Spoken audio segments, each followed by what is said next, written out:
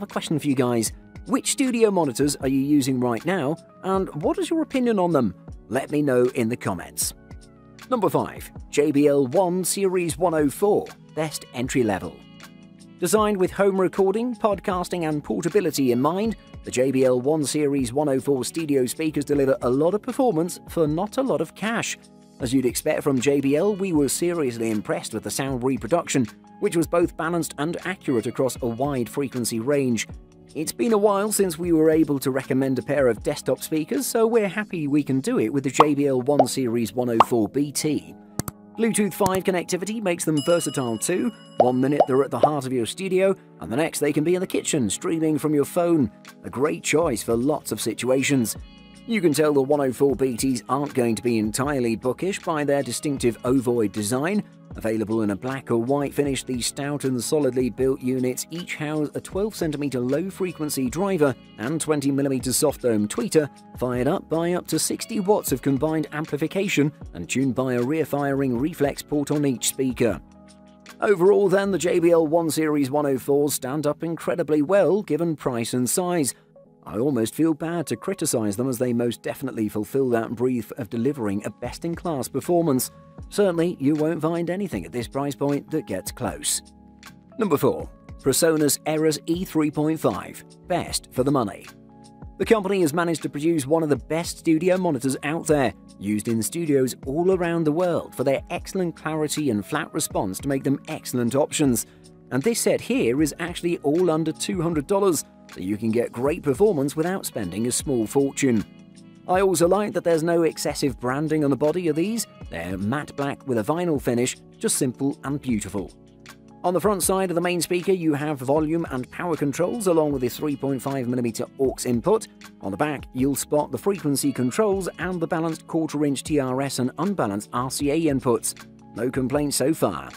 Both of these speakers are equipped with 3.5-inch custom-woven Kevlar woofers and 1-inch ultra-low mass silk dome tweeters, which should provide a great performance overall. I should state that each speaker provides about 50 watts of performance, which should be pleasing for most of us. The frequency response range spans from 80 to 20,000 Hz, and one of my favourite things about these is the soft start feature that eliminates that annoying pop sound when powering up. In terms of performance, the PreSonus Eris E3.5s eliminate the distortion in the entirety of the frequency range and deliver great monitoring experiences. If you raise the volumes, you'll notice some rattling, but for the price, these are great. Number 3. Edifier R1280T Best Mid-Range Option The Edifier R1280T is another amazing speaker system. These speakers deliver rich, balanced audio and they come with an adjustable EQ for a pretty affordable price. These speakers are some of the best because even though they're not as pricey as other high-end speakers, they still deliver amazing sound quality and they can get pretty loud too. I should mention that each speaker packs a 13mm silk dome tweeter, a port to allow the drivers to perform more efficiently and to move air, and a 4-inch woofer. The first thing I noticed on the right speaker was that there's also a recessed area housing three knobs. At the top it has one for treble, on the middle for bass, and on the lowest one for volume. I also recommend this product to anyone who wants to buy a good speaker system that provides high quality sound and has great features. The build quality is top notch and the design of these speakers is very stylish. If you want to enjoy better music and better sound quality, make sure to check out the Edifier R1280T because they won't let you down. Definitely one of the best studio monitors in the market. Number 2. Mackie CRX Best Runner-Up here comes one of the most popular speaker pairs from Mackie. The CRX series has more than 5 speakers with and without Bluetooth connectivity. The pair we're reviewing here has almost the same specifications, quality and performance as its other siblings. When looking at it from the front, you'll see a bright outline in green colour all over its surrounding, which seems like it's reflecting, but actually they're not. It glows a little, but they don't reflect. You'll get different outlines on different subwoofers. It produces a nice quality of bass with its mid-range driver, which creates an amazing audio stereo imaging in your mind. This is some sort of natural sound, which means that if your record has something bad with it, you're going to feel this as well. So it's better to have a record with a clear sound. Recordings with serious low-end content will make the monitors distort if pushed beyond moderate listening levels.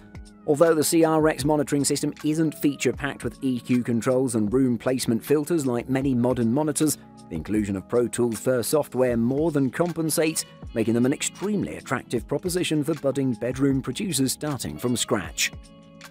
Number 1. JBL 305P Mark II Best Overall JBL has been a pioneer in sound engineering. Founded in 1946, it's been one of the companies that raised the standards when it came to acoustics. The company is well known for its speakers, headphones, headsets, and related accessories. As JBL yearly innovates to provide better options for recorders, musicians, sound engineers, producers, and the audiophile, it's introduced the JBL 305P Mark II.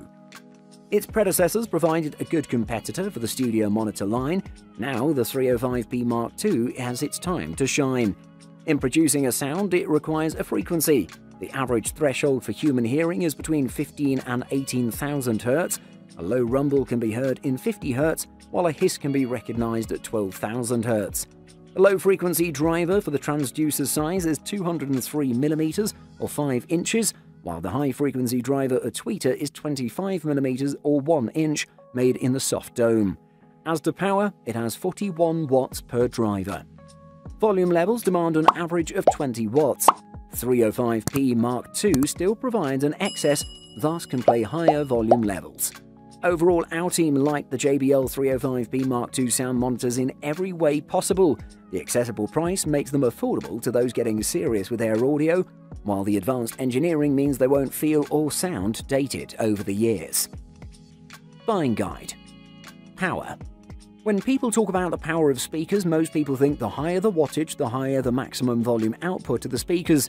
While that is also the case, the more power the speaker has, the more detailed the sound is across a wider dynamic range, so you can control and check the sound without any distortion. This is one of the weakest areas of budget monitors since they generally have lower power and distort both in the low and high end frequency range of your track. I generally don't recommend going below 50 watts but it also depends on the choice. Total Harmonic Distortion, or THD. The spec for THD is also an indicator of general accuracy, but in a different way than frequency response. Total harmonic distortion lets you know how cleanly a monitor can reproduce whatever audio you feed it.